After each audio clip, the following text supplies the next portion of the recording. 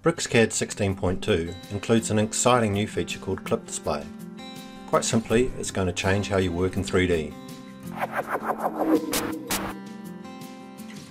If you're familiar with live sections, then Clip Display is similar, but there are some important differences. Firstly, you can work with multiple section planes, or BIM sections at the same time. Clip Display also only clips the display of the model, where a live section temporarily replaces the model with cut solids. This means you are still working directly with your model, and you can continue to use all modelling and editing operations, including object snaps. What's more, Clip Display will also allow you to snap to points created by the cutting plane itself, providing you with an additional set of options.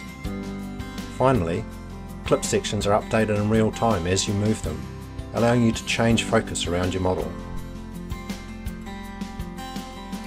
In this video we will add pipe connections onto a pressure vessel, taking advantage of the features provided with clip display along the way. Using the existing section planes, we will go ahead and clip the display of the vessel. Notice that you can clip more than one section plane at a time, and that as we move the section plane, the display updates in real time. Before going further, we will need to shell the vessel to create the interior surface.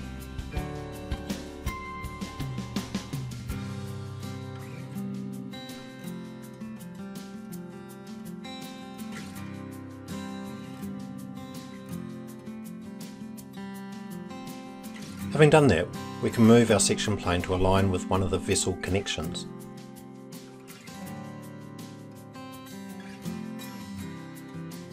And using the quad, extend the connection to the outside surface of the vessel, joining them together.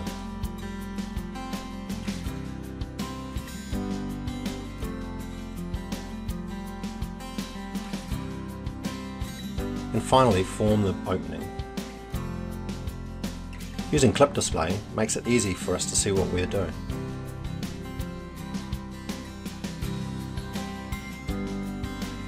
Let's move the section plane and repeat the process with another of the vessel's connections.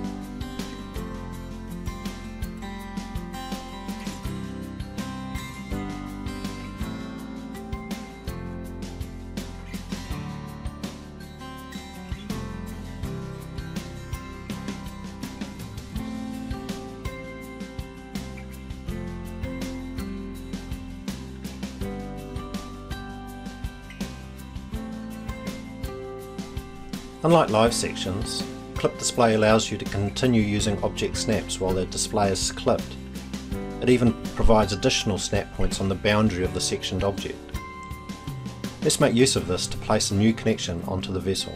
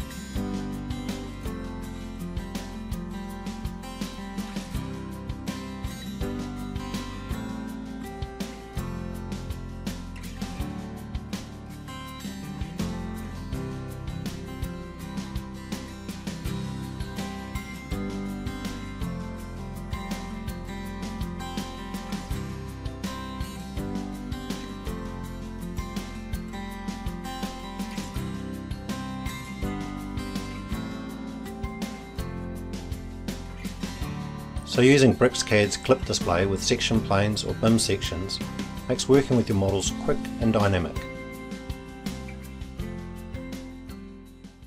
Download the free trial version of BricsCAD at www.bricsys.com and check it out for yourself.